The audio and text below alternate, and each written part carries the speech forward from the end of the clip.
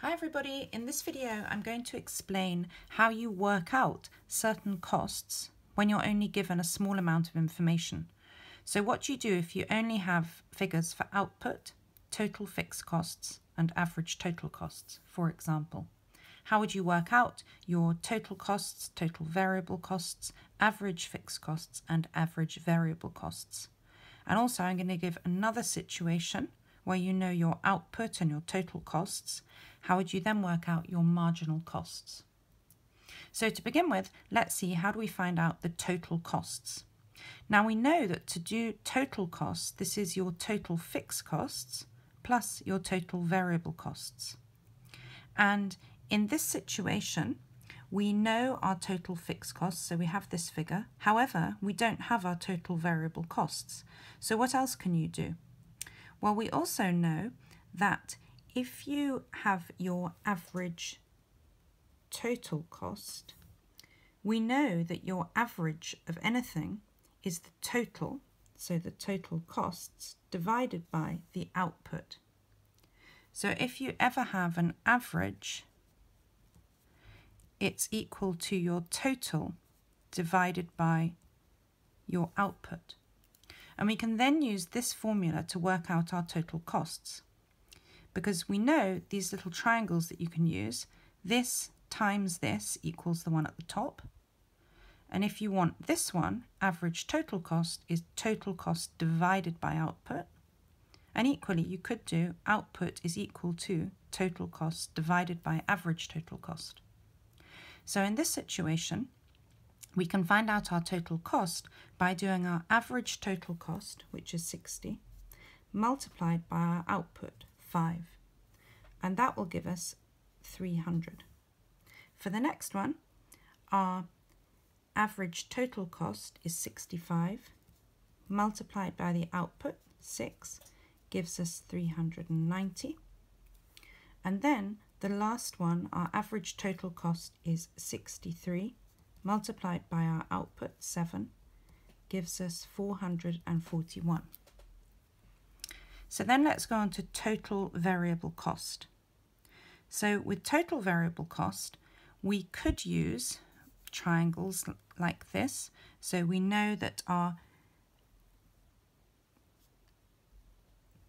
total variable cost is equal to our average variable cost times our output.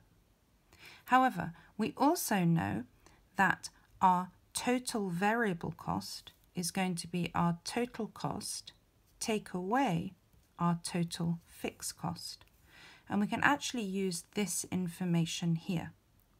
We can't use this at the moment because we don't know our average variable cost. We haven't worked that out yet. But we can use this formula. So if we look at this, we know our total costs. For, for the first one, our total cost is 300. And if we take away our total fixed cost, 200, that gives us 100. For the next one, our total cost is 390. And if we take away our total fixed cost, it's 200 and that gives us 190. For the third one, our total cost is 441 and our total fixed cost is 200. So that gives us 241. Then we can work out our average fixed cost. So as we were saying before, if you want any average, you do your total of that cost divided by your output. So therefore, if you want to work out your average fixed cost, you need to do your total fixed cost divided by your output. And we know now what our total fixed costs are. From the very beginning, we knew that over here. So that's 200 divided by our output, which is 5, and that equals 40. For the next one, our total fixed costs again are 200 divided by our output, which is 6. That gives us 33.33 recurring. Remember in economics, we do things generally to two decimal places. The third one, our total fixed costs, we know that they're still 200 because they never change, regardless of your level of output. So it's 200 divided by the output of 7, and that gives us 28.57. The final one is another average, average variable cost. So for this one, again, you need your total, total variable cost, divided by your output. And that's going to give you your average variable cost. So for the first one here, the total variable cost, we've got that in this column, that's 100 divided by our output of 5, and that gives us 20.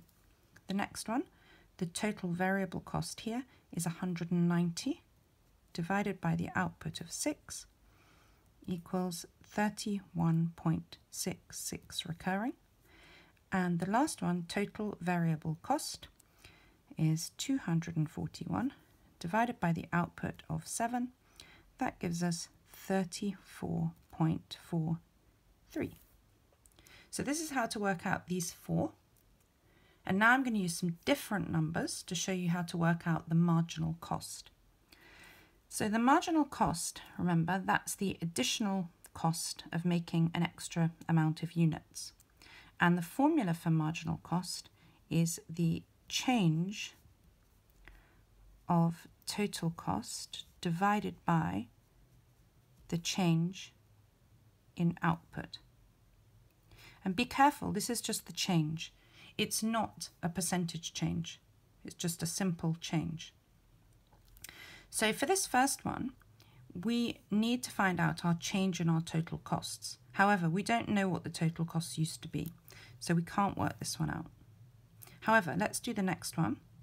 So for this one, when we decide to make the third unit of output, our total costs go up from 10 to 12. So they've gone up by 2. So our change in total costs are 2. Our change in output from 2 to 3 is 1. And that equals 2 divided by 1 is 2. So that's the marginal cost of making the third unit of output. If you decide to make the fourth unit of output, our change in total cost is going from 12 to 18. So this is 6 and the change in output is just 1, so divide it by 1, and this is 6. If you decide to make the fifth unit of output, the marginal cost of making this fifth unit, you need to find out the change in total cost, so that's 10, divided by your change in output, that's just 1, and that equals 10. So in each case, it's, this is the marginal cost of making the third unit. It's 2. The marginal cost of making the fourth unit is 6 and the marginal cost of making the fifth unit is 10. If you wanted to do a slightly more complicated one, imagine that we go from 3 to 5 units. If we do that, our change in total cost is from 12 to 28. So that will be 16 divided by the change in output, which is 2, and that is 8. So 8 is the marginal cost of going to 3 to 5 units, the marginal cost per unit between these two units. So this is how you can work out all five of these costs when you are only given a small amount of information at the beginning.